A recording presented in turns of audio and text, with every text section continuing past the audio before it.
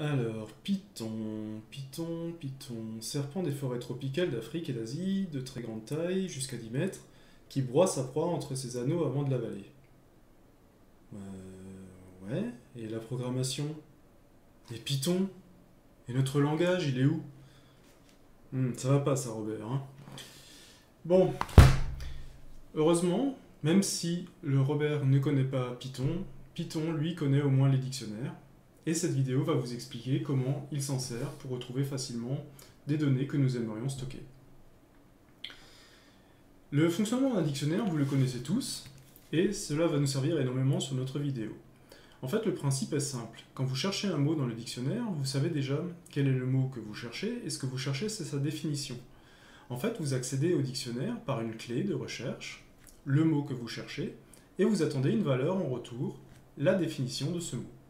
Eh bien, c'est exactement ce que fait Python dans, euh, dans sa programmation. Il va vous permettre d'associer une valeur clé à une valeur que vous voulez rechercher. Pour ceux qui ont déjà fait du C++, par exemple, le dictionnaire Python va être euh, l'équivalent de, de la structure map que nous avons en C++, pour ceux qui connaissent. Et pour ceux qui ne connaissent pas le C++, eh ben, euh, je vous laisse un petit peu de temps pour apprendre le C++. Non, je plaisante, bien sûr, on va continuer en Python.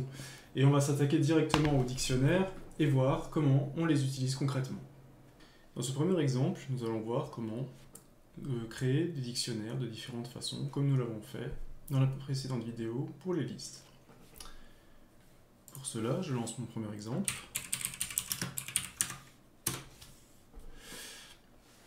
Donc, quelles sont les différentes façons de créer un dictionnaire?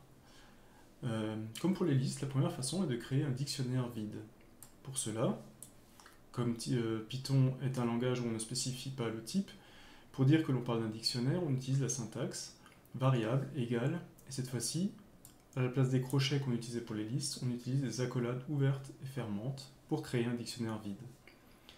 Donc un dictionnaire vide, on peut se l'imaginer comme si on venait de créer la couverture du dictionnaire sans qu'il n'y ait aucune page à l'intérieur, sans aucun mot, sans aucune référence, rien.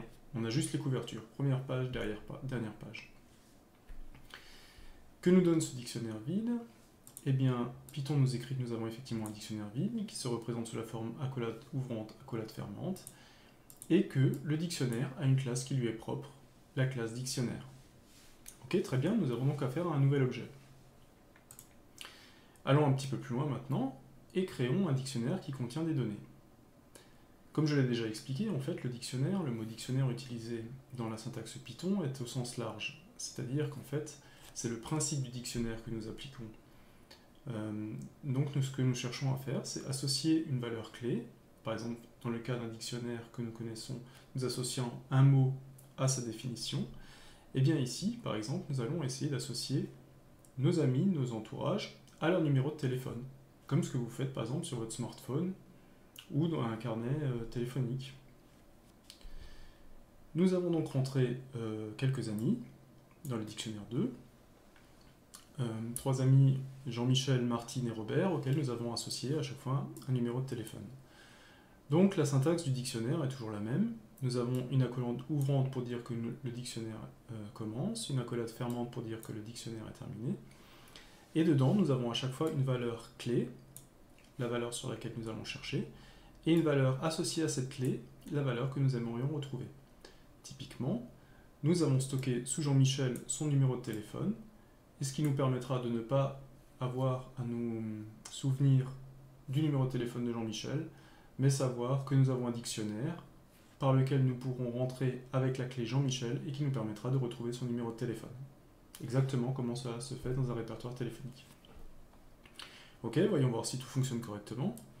Nous imprimons notre dictionnaire et nous avons un dictionnaire avec des valeurs qui contient Jean-Michel avec son numéro de téléphone, Martine avec son numéro de téléphone et enfin Robert avec son numéro de téléphone. Et la classe est toujours de classe dictionnaire.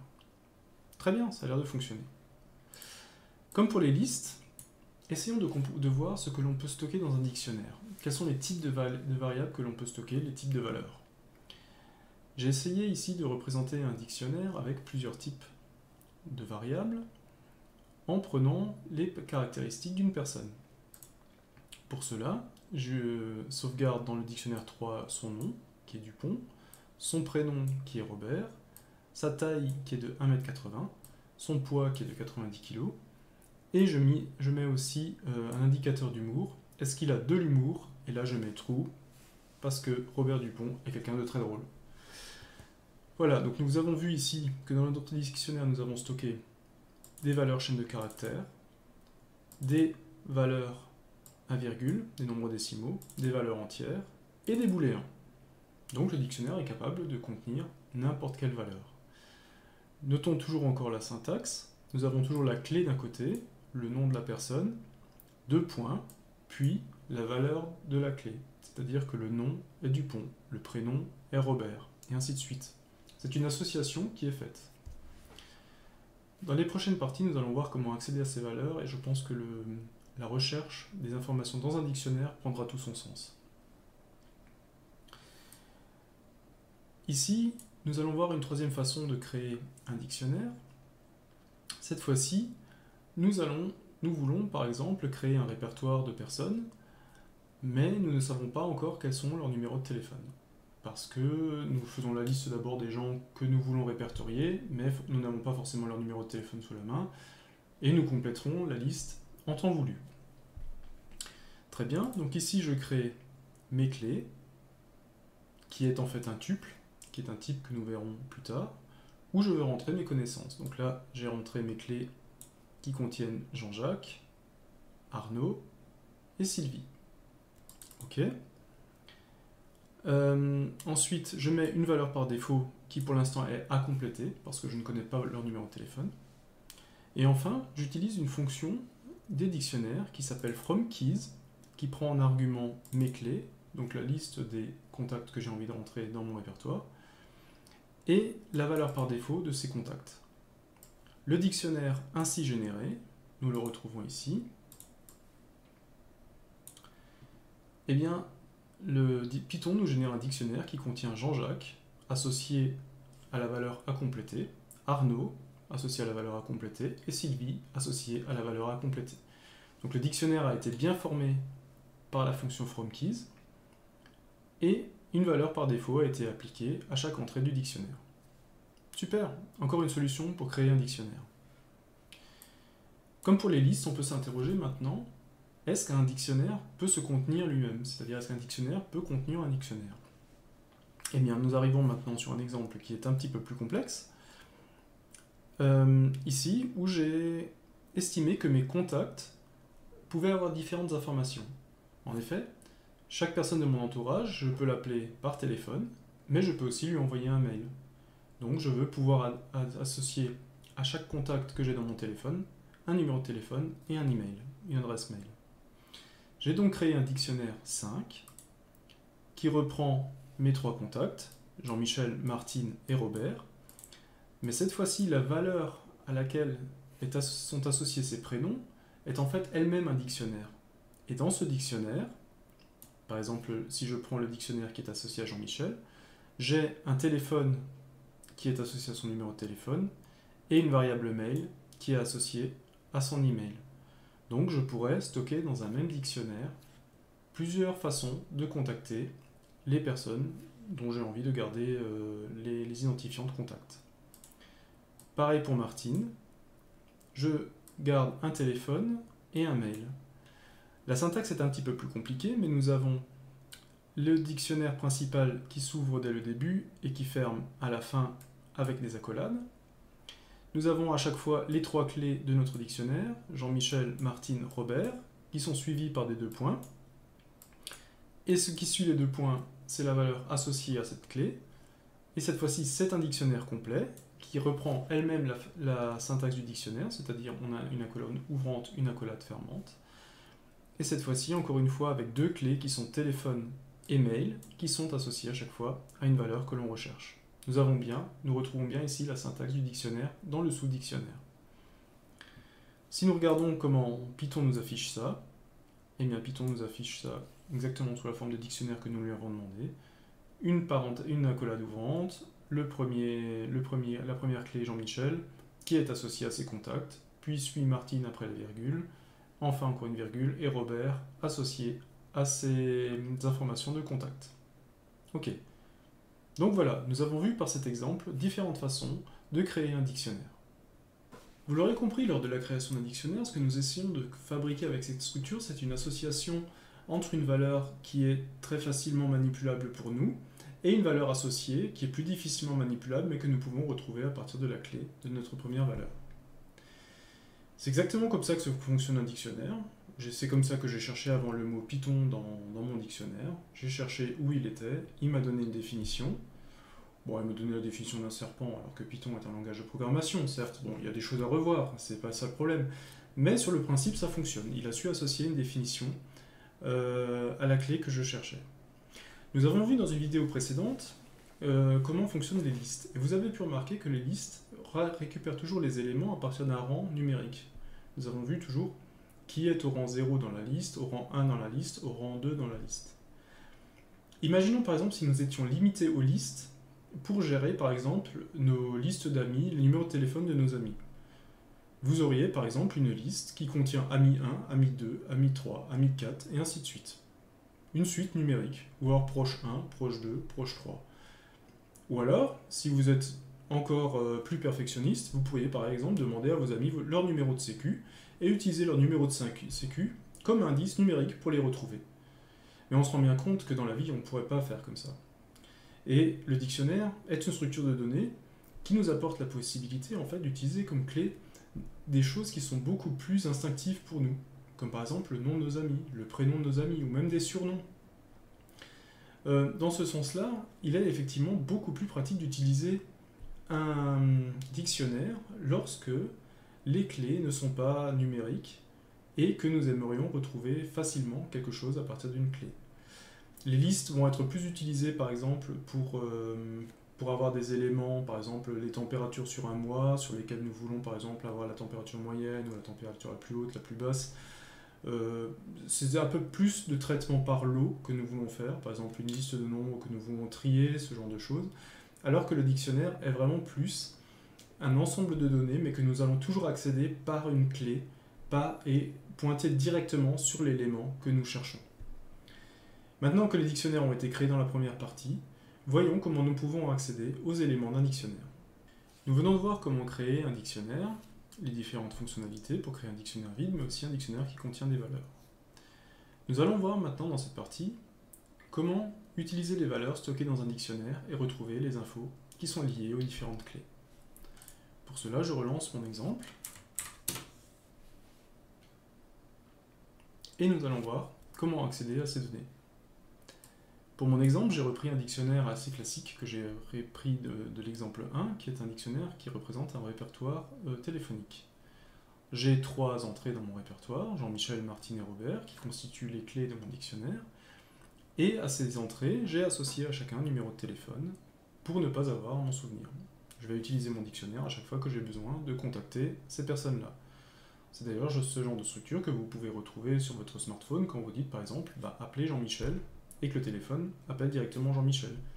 Il connaît la clé, il va retrouver le numéro de Jean-Michel, le composer et l'appeler. C'est exactement le même principe. Donc comment retrouver le numéro de Jean-Michel par exemple, puisqu'on en parle? Eh bien le numéro de Jean-Michel va être euh, récupéré avec à peu près la même syntaxe que nous avons vu pour les listes, c'est-à-dire que nous accédons au dictionnaire et nous mettons un crochet ouvrant, crochet fermant, et dedans nous mettons notre sélection. Mais là où pour la liste nous avions toujours euh, un index numérique, on l'avait vu par exemple pour la liste des courses, on avait l'index du rang 0, l'index du rang 1, l'index du rang 2, et ainsi de suite. On pouvait utiliser que des valeurs numériques. Eh bien, le, le dictionnaire, lui, nous permet d'utiliser toutes les valeurs non mutables comme clé. Donc la chaîne de caractères en fait partie. Et donc je peux facilement récupérer dans dict 1 la valeur qui a comme clé Jean-Michel.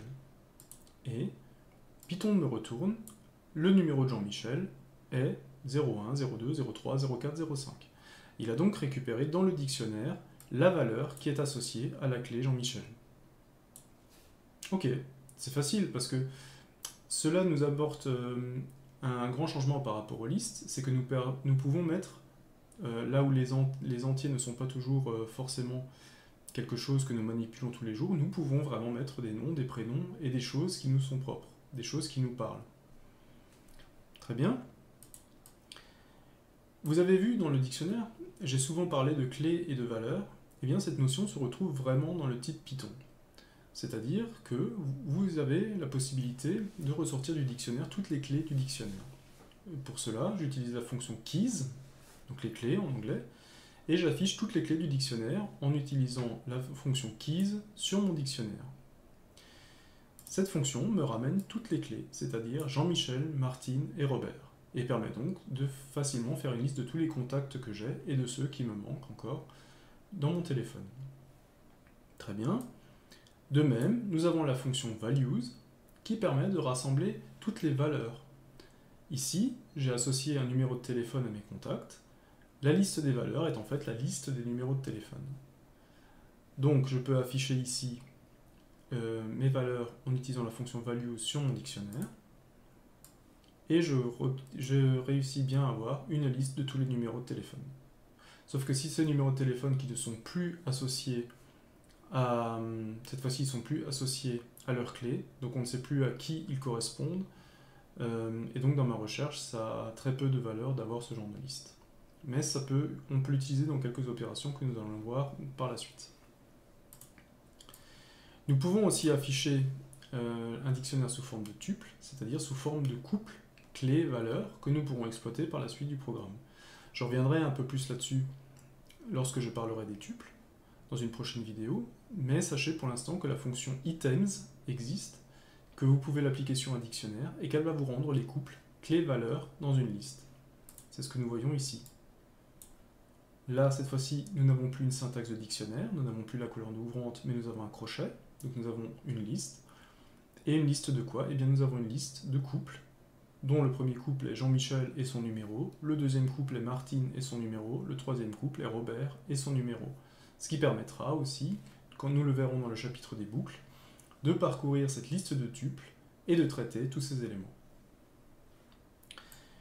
Enfin, les, les fonctions keys et, values ont cet avantage aussi de, de, chercher facilement à savoir si une clé est dans la liste des clés ou une valeur est dans la liste des valeurs. Par exemple, j'ai fait un petit exemple ici, je voulais savoir est-ce que Martine est déjà dans mon dictionnaire? Pour cela, la syntaxe se fait un peu comme dans les listes. Je cherche si la chaîne de caractères Martine in dictionnaire.keys. Donc, si Martine est dans la liste des clés de mon dictionnaire. Donc mon dictionnaire contient Jean-Michel, Martine et Robert, Martine en fait partie, et c'est ce que Python me dit en disant que la recherche par clé donne un résultat true. Très bien. Continuons, cette fois-ci avec la liste des valeurs. Je veux chercher si un numéro de téléphone est déjà dans ma liste des valeurs, eh bien j'utilise la même syntaxe. Je prends le numéro de téléphone sous forme de chaîne de caractères, je veux regarder s'il est in le dictionnaire 1.values, que je rappelle c'est la fonction que nous avons vue plus haut, qui fait une liste des valeurs du dictionnaire, et le numéro de téléphone que je recherche étant le numéro de téléphone de Robert, la fonction Python va me retourner true, vrai. Elle a trouvé le numéro de téléphone dans la liste des valeurs. Bien, voyons voir maintenant comment est-ce qu'on peut rechercher une valeur dans un dictionnaire qui contient lui-même des dictionnaires C'est le cas un peu plus compliqué que nous avons vu lors de la création. J'ai repris exactement le même dictionnaire qu'en haut, c'est-à-dire que j'ai toujours mes trois contacts Jean-Michel, Martine et Robert, et leur identifiant de contact à cette fois-ci un numéro de téléphone et un mail, qui sont eux-mêmes renseignés sous la forme de dictionnaire. Eh bien, nous sommes assez proches de la syntaxe des listes de listes lorsque l'on cherchait dans un dictionnaire de dictionnaire. Encore une fois, là j'ai deux niveaux, mais on pourrait très bien aller euh, à trois niveaux, quatre niveaux, faire des dictionnaires de dictionnaires de dictionnaires de dictionnaires de dictionnaires. Là, il n'y a de limite que votre imagination. Donc, si je veux récupérer le mail de Martine, eh bien la syntaxe est toute simple. Je récupère mon dictionnaire qui est dict 2. Je mets entre crochets la première clé que je cherche, qui est Martine, pour accéder au dictionnaire de Martine. Et une fois que j'ai le dictionnaire qui est associé à Martine, je veux récupérer son mail, que je prends donc en crochet ouvrant, crochet fermant, et je dis que je veux la valeur du mail. Ok? Donc, on voit bien la syntaxe que dans le dictionnaire, je cherche d'abord Martine et puis son mail, et ce qui me donne le mail de Martine, c'est titine.fai.fr. Ok, très bien. Donc nous avons vu qu'un dictionnaire peut facilement nous permettre de récupérer des valeurs en fonction de clés qui pour nous ont un sens. Donc ça nous permet de stocker énormément de choses et de retrouver les valeurs très facilement, même lorsqu'elles sont très nombreuses. Très bien, nous avons déjà fait une grosse partie, nous avons mis en place un dictionnaire et nous avons vu comment retrouver les valeurs qui sont stockées dans un dictionnaire. La partie suivante maintenant va voir comment évolue un dictionnaire dans le temps. Parce que même si je prends mon dictionnaire que j'ai à la maison, et eh bien lui aussi, d'année en année, il s'étoffe. Les termes désuets disparaissent petit à petit du dictionnaire, les nouveaux termes apparaissent, surtout si on est dans les nouvelles technologies. D'ailleurs, euh, il manque toujours Python, hein. je ne sais pas si je l'ai déjà dit. Ouais, je crois que je l'ai déjà dit. Euh, et ces termes vont arriver petit à petit dans notre dictionnaire. Il faut aussi que nous puissions modifier à notre tour nos dictionnaires sous Python. Et cela va être traité dans cette partie. Vous avez remarqué aussi que la clé d'un dictionnaire doit rester unique. Vous l'avez remarqué aussi dans les dictionnaires papier. Lorsque par exemple vous cherchez un mot, vous pouvez avoir par exemple plusieurs définitions qui sont associées à un seul mot, mais un mot avec une orthographe donnée ne se retrouve qu'une seule fois dans le dictionnaire. Ça, c'est une analogie qui est vraie aussi dans Python.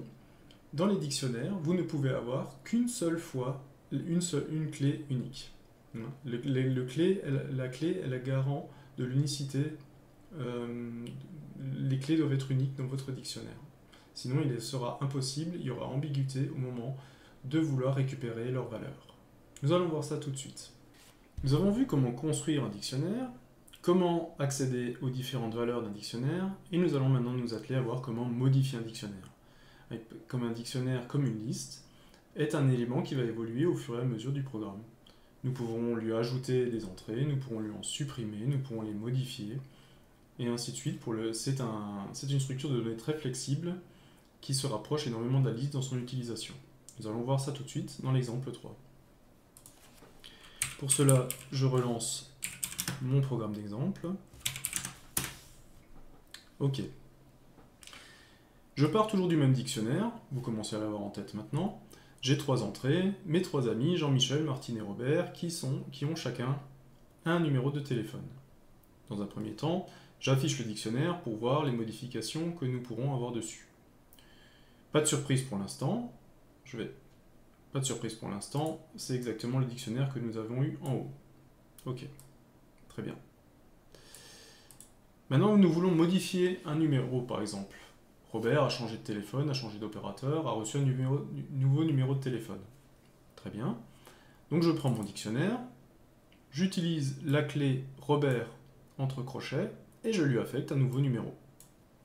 Voyons voir si le changement a été fait. Le changement de numéro de Robert a été fait. Il est passé de 01, 05, 02, 04, 03 à 06, 06, 06, 06, 06. Ok, maintenant il m'a donné un numéro de portable. Ok, donc la modification de Robert a bien été faite.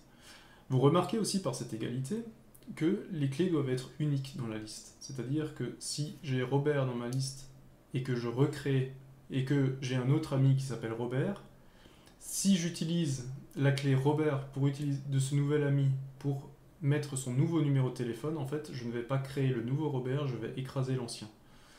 Les clés dans un dictionnaire doivent toujours être uniques. C'est un identifiant unique, comme un numéro de sécu, comme une adresse mail, comme ce genre de choses.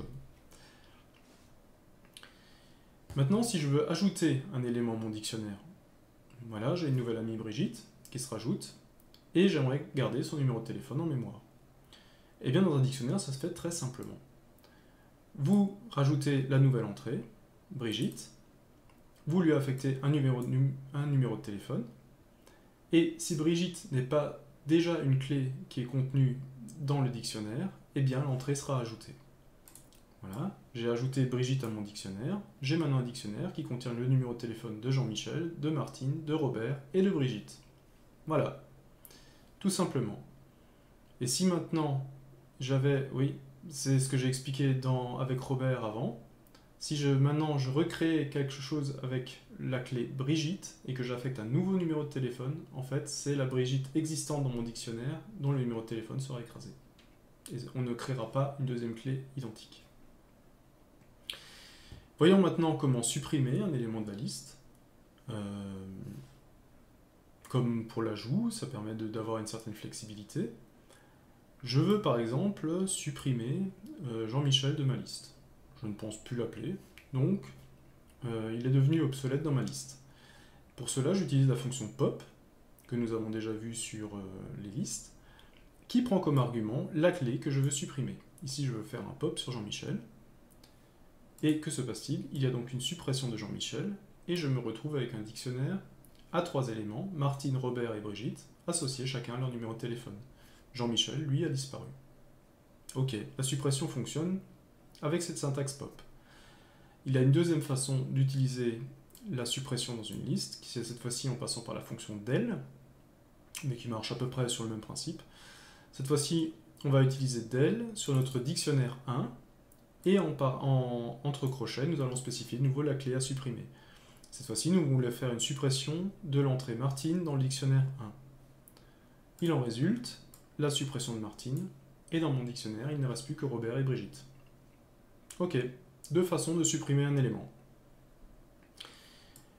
On peut aussi s'amuser à supprimer élément par élément pour vider entièrement le dictionnaire, si jamais on en a besoin. Cependant, pour cette manipulation, il existe une fonction qui est beaucoup plus rapide, et qui est la fonction clear. La fonction clear s'applique directement sur le dictionnaire. Mon dictionnaire dict1.clear, et elle a pour objectif de vider entièrement le dictionnaire, de retenir un dictionnaire vide, comme nous l'avons créé au début avec juste une couverture de début, une couverture de fin. Nous avons affiché le dictionnaire vidé, vous le voyez, il y a une accolade ouvrante, une accolade fermante, qui spécifie que nous avons bien un dictionnaire, mais qu'il est vide. Très bien. Maintenant, j'aimerais revenir, nous avons vu que dans les valeurs du dictionnaire, nous pouvons mettre toutes sortes de variables.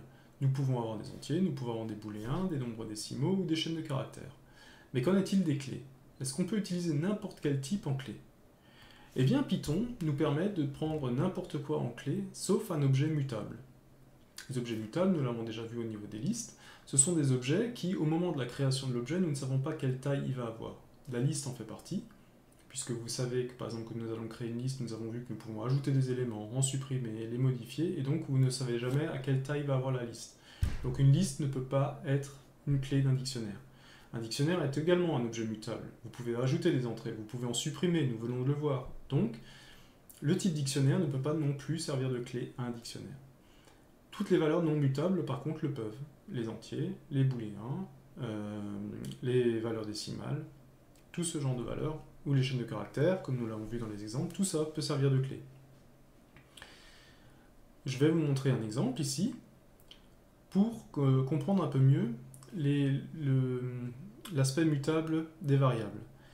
Ici, par exemple, j'ai mon, mon, dictionnaire que j'avais au début, mes trois entrées associées à un numéro de téléphone. Jean-Michel, Martine et Robert. Ok. Maintenant, je veux rentrer Jean. Jean a une spécificité, il a deux numéros de téléphone. Il a un numéro de téléphone de domicile et un numéro de téléphone euh, professionnel, par exemple. Ok. Donc, je vais mettre dans mon dictionnaire l'entrée Jean, mais je vais lui dire qu'à la place d'avoir un seul numéro de téléphone, il a une liste. Vous reconnaissez la syntaxe de liste ici, avec les crochets ouvrants, crochets fermants. Il a une liste de numéros de téléphone. Est-ce que cela va fonctionner? Puisque liste est un élément mutable. Nous affichons le dictionnaire 1, et vous voyez, en effet, que cela fonctionne. Jean-Michel a un numéro de téléphone, Martine a un numéro de téléphone, Robert a un numéro de téléphone, et Jean a une liste de numéros de téléphone. Ok. Donc un objet mutable peut devenir une valeur dans un dictionnaire. Très bien. Maintenant, nous allons essayer de faire l'inverse. Imaginons, par exemple, le cas inverse, j'ai Martine et Jean qui, qui habitent la même maison, qui, sont mariés et qui ont le même téléphone. Donc je voudrais que le couple Martine et Jean soit associé au même numéro de téléphone. Et donc je me dis, bah, c'est super, je connais l'objet liste.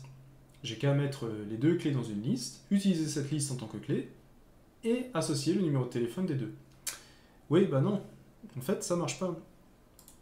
Là vous voyez que Python nous provoque une erreur en nous disant, bah non, le type que vous avez utilisé pour identifier la clé c'est du mutable. Je peux, je peux pas l'utiliser. Ok Regardez ce que nous avons fait. Nous avons créé une liste qui contient Martine et Jean. La syntaxe de la liste, c'est crochet ouvrant, crochet fermant. Et nous avons utilisé la liste 1 comme clé dans notre dictionnaire pour mettre notre, euh, notre numéro de téléphone qui correspond à la fois à Martine et à Jean. Et c'est ça qui a provoqué une erreur en fait. La clé d'un dictionnaire ne peut jamais être un objet mutable. Voilà, j'espère que cette partie vous aura montré un peu comment on peut modifier une liste pour la rendre plus flexible, qu'un programme euh, peut démarrer avec un, dictionnaire vide, peut ajouter des entrées, peut en supprimer, peut les modifier. Et j'espère aussi vous avoir attiré votre attention sur le fait que un objet mutable ne peut pas devenir la clé d'un dictionnaire, mais il peut en devenir la valeur. Voilà, nous avons vu maintenant comment mettre en place un dictionnaire, comment récupérer les valeurs que nous avons mis dans le dictionnaire et comment faire vivre ce dictionnaire en ajoutant, en supprimant et en modifiant les valeurs qu'il contient. Il reste une dernière partie où nous allons voir maintenant quelques exemples de fonctions qui peuvent nous aider lorsque nous manipulons des dictionnaires. Je voudrais juste encore insister, comme nous l'avons vu dans l'exemple, sur le caractère mutable du dictionnaire, qui est comme la liste, donc un élément dont on ne peut pas prévoir à l'avance combien d'éléments il va, il va contenir, et qui le rend donc euh, inexploitable dans le fait de devenir une clé d'un dictionnaire, comme tous les autres objets mutables. Euh, nous allons voir aussi comment réagir, par exemple, si nous faisons une recherche d'une clé qui n'est pas dans le dictionnaire. Ça peut arriver de temps en temps. Vous avez votre téléphone, vous recherchez un contact, vous pensiez l'avoir dans votre téléphone, mais en fait vous ne l'avez pas. Euh, le téléphone vous dit très probablement qu'il ne l'a pas. Eh bien Python propose des façons de réagir un petit peu différentes et qui peuvent vous aider en tant que programmeur au moment où vous aurez à gérer des, listes, des dictionnaires sous Python. Nous allons voir ça immédiatement. La dernière partie que nous allons aborder au niveau des dictionnaires euh, va concerner quelques fonctions qui peuvent vous être utiles lorsque vous utilisez un dictionnaire. Pour cela, je relance mon exemple et nous allons analyser ces, exemples ensemble. Beaucoup de choses vont être euh, assez similaires à ce que nous avons fait sur les listes. Donc si vous avez saisi déjà euh, tout ce que nous avons fait avec les listes, euh, normalement cette partie ne devrait pas être très compliquée. J'ai de nouveau recréé mon dictionnaire, mon dicte 1, qui contient les, trois entrées, Jean-Michel, Martine, Robert, associées à leur numéro de téléphone. L'exemple commence à être compris dans, puisque j'utilise toujours le même. Nous utilisons déjà dans le premier exemple la fonction lens, L-E-N abrégé, qui, comme pour les listes, va donner la taille de notre dictionnaire. Et en utilisant la taille, la, variable, la fonction len sur le dictionnaire, nous, voyons que la longueur du dictionnaire est de 3. C'est le nombre d'entrées qu'il y a dans notre dictionnaire. Jean-Michel, Martine, Robert, ça fait 3. La fonction lens, comme pour les listes, va être euh, pas mal utilisée lorsque nous allons parcourir les dictionnaires, que nous allons boucler autour des dictionnaires. Nous verrons cela dans le chapitre concernant les boucles. Pour les mêmes raisons que la liste, nous avons vu plus haut que le dictionnaire est un objet mutable. Donc, la copie d'un dictionnaire est régie par les mêmes règles que la copie de liste. Si vous faites une copie de dictionnaire uniquement avec le signe égal dict 1 égale dict 2, vous allez avoir les mêmes problèmes qu'avec les listes, c'est-à-dire que ce n'est pas le dictionnaire qui aura été copié, mais c'est la référence sur un dictionnaire existant qui aura été copié. Si vous voulez faire une copie, vraiment une copie dupliquer un dictionnaire, il faudra passer là aussi par la fonction copie, mais pour avoir plus d'explications, je vous renvoie à la vidéo sur les listes qui reprend la fonction copie d'un objet mutable en détail. Là, j'ai utilisé la fonction copie pour créer un dictionnaire 2 à partir du dictionnaire 1. Et j'ai ma copie du dictionnaire 2 qui contient bien Jean-Michel, Martine et Robert comme le dictionnaire, le dictionnaire 1. Le dictionnaire 1 a donc bien été dupliqué. Nous allons voir maintenant une fonction qui est propre au dictionnaire et qui n'existait pas pour les listes, c'est la, la, la fonction setDéfaut. Vous pouvez par exemple chercher euh, une entrée dans, dans votre dictionnaire et vous n'êtes pas sûr que vous l'avez par exemple. Vous pouvez par exemple chercher une personne dans votre répertoire en vous disant j'espère que j'ai son numéro mais j'en suis pas sûr. Alors que faire si jamais cette personne euh, n'existe pas dans votre dictionnaire. Eh bien, si vous cherchez une valeur qui n'existe pas dans votre dictionnaire, Python va vous ramener une erreur en vous disant que vous êtes en train de chercher une clé qui n'existe pas. Cependant, Python peut vous permettre de gérer un petit peu ce problème et d'avoir, au lieu d'avoir une erreur, de pouvoir influer directement sur le code. C'est ce que fait cette fonction setDefault. Par exemple, nous avons repris notre dictionnaire 1 qui contient Jean-Michel, Martine et Robert, et nous utilisons la fonction setDefault qui prend deux paramètres, qui prend une clé Martine et une valeur par défaut qui est à compléter. Cette fonction setDefault renvoie un numéro de téléphone, c'est-à-dire renvoie en fait la valeur qui est associée à la clé Martine dans le dictionnaire, et nous affichons le numéro de téléphone. Ici, nous avons le numéro de téléphone de Martine qui s'affiche. Ok. Donc à quoi servit la valeur par défaut? Eh La valeur par défaut n'a servi pour l'instant à rien, car Martine était dans notre dictionnaire. Maintenant, nous refaisons la même fonction, mais cette fois-ci nous allons chercher DD. DD n'est pas dans notre dictionnaire. Nous lui avons donné la valeur par défaut à compléter, et nous avons voulu récupérer le numéro de téléphone de DD. Et quand nous affichons le numéro de téléphone de DD, eh bien cette fois-ci, sans provoquer d'erreur, le Python nous indique que le numéro de téléphone de DD est à compléter. En fait, il a recopié la valeur par défaut que nous lui avons spécifiée. Mais la fonction setDefault va beaucoup plus loin que ça, puisque si nous regardons l'état du dictionnaire après avoir utilisé cette fonction, setDefault, eh bien, nous avons maintenant quatre entrées dans notre dictionnaire, Jean-Michel, Martine et Robert que nous avions déjà depuis le début, mais nous avons aussi maintenant DD qui a un numéro de téléphone à compléter.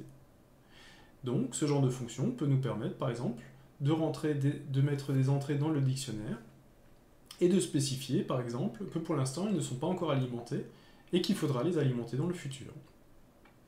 C'est une fonction qui peut nous aider à euh, récupérer des erreurs et à compléter des dictionnaires par la suite.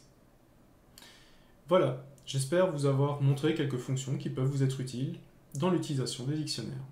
Voilà, j'espère vous avoir montré au travers de ces exemples ce que est un dictionnaire en Python, c'est-à-dire euh, une association entre une clé et une valeur qui nous permettent de facilement retrouver une valeur en connaissant l'objet clé qui est un objet qui pour nous est très manipulable comme un nom, un prénom, un surnom de quelqu'un et qui permet de nous associer à des informations liées à cette clé.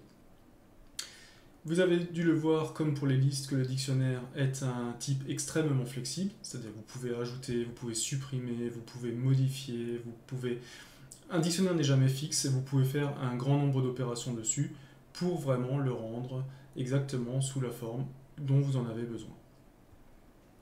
Le dictionnaire est aussi intéressant en Python car il est implémenté en mémoire d'une façon qui le rend très rapide. À partir du moment où vous accédez à un élément au travers de sa clé, comme nous l'avons vu, par exemple pour les numéros de téléphone, en fait, vous évitez de faire un parcours complet du dictionnaire et de perdre du temps. Donc c'est une structure qui, lorsque vous allez l'utiliser, va faire gagner énormément de temps à vos programmes Python. Donc utilisez-la le plus que vous pouvez. Bon, et eh bien je crois qu'on a fait le tour euh, des dictionnaires. On a vu pas mal de choses dessus, énormément de fonctions. Et je pense que je vais m'arrêter là pour l'explication. Et donc, euh, il me reste à vous souhaiter une bonne journée. Et puis, moi, de mon côté, ben, je vais voir euh, qui c'est qui écrit le Robert pour faire ajouter que Python n'est pas seulement un serpent, mais c'est aussi un langage de programmation qui nous permet d'apprendre la programmation très simplement. Voilà, bonne journée